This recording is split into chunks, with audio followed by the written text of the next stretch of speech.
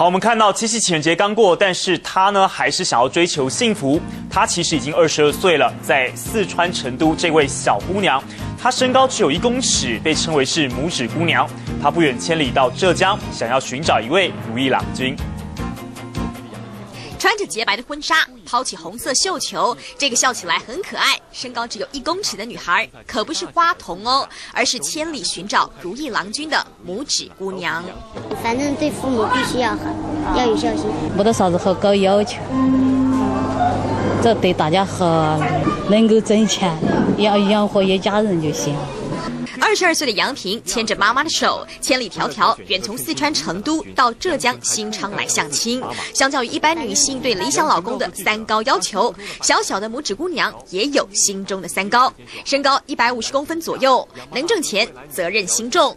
不过这回似乎还是没看对眼。肚子不行还有下次吗？拇指姑娘追求幸福，就算小小的步伐，也要勇敢尝试，大步迈前。中央新闻李烈芳综合报道。